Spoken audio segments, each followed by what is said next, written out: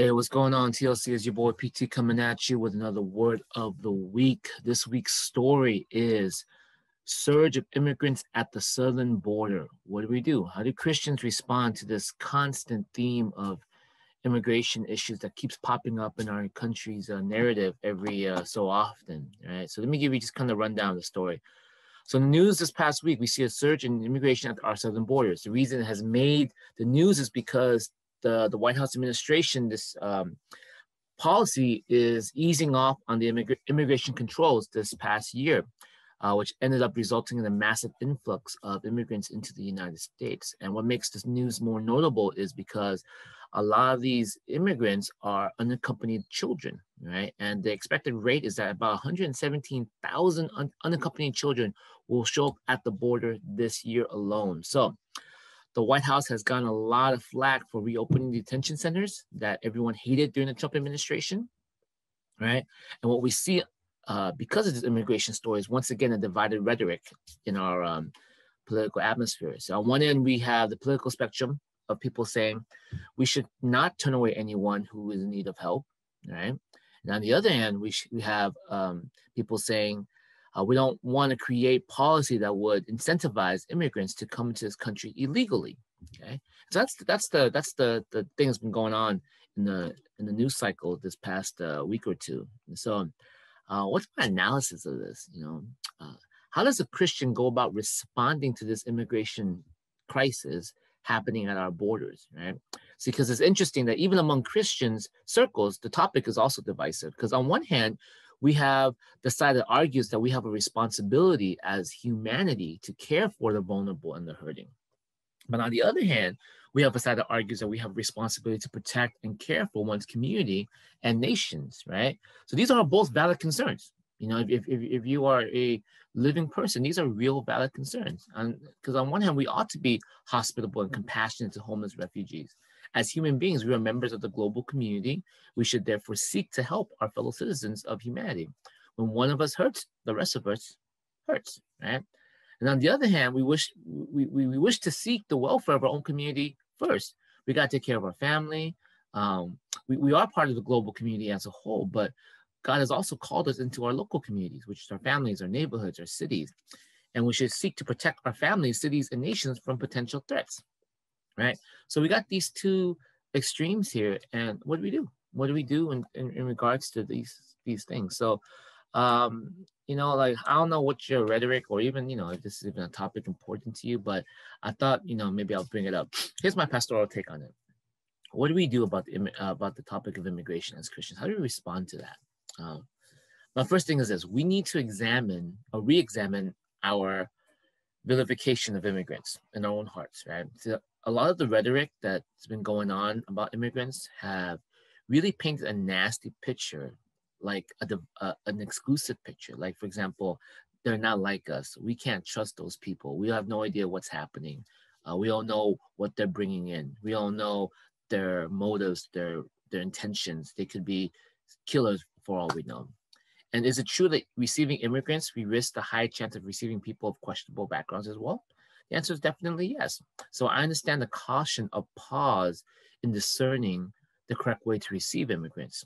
However, with that said, when our language is used to vilify a member of humanity as if somehow we are free from our own self-centered acts ourselves, um, we do a disservice to the name of Jesus Christ, and we ourselves forgot what the gospel stands for.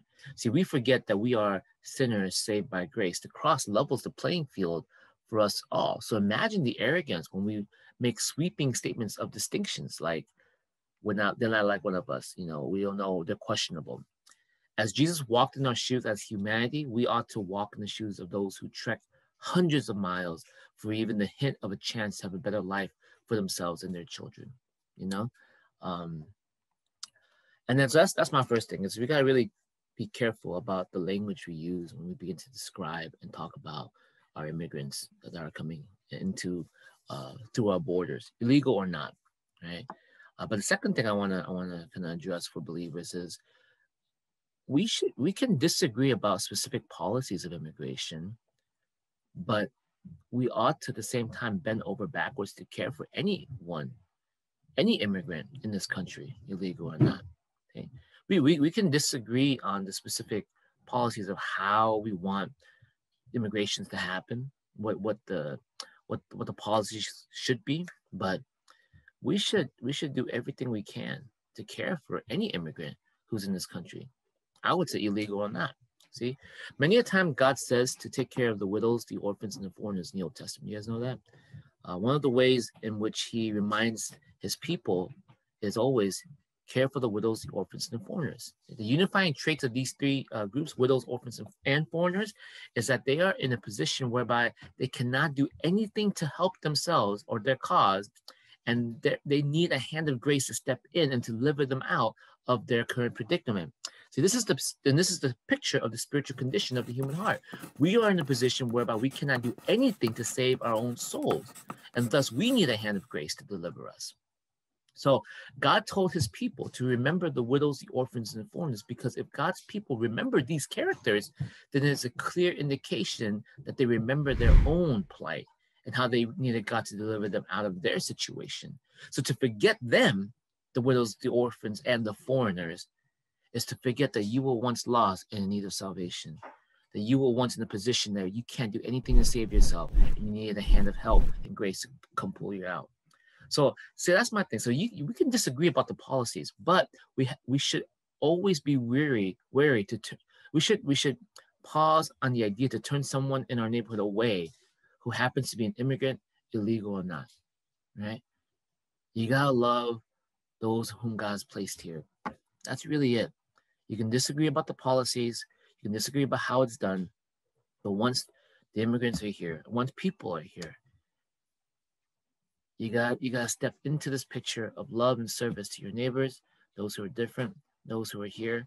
The Bible says this, you know, remember the widows, the orphans, and foreigners. For once, for you were once in Egypt, and you needed a hand of saving. Okay, so that's my word. Um, I hope that's helpful for you guys, at least in this time, to uh, consider that. And let's not jump to extremes when we think about these things. Okay, but let's uh, jump to the cross and jump to the picture of grace to guide us and to move us. You guys have a great one. I love you. I'll see you guys soon.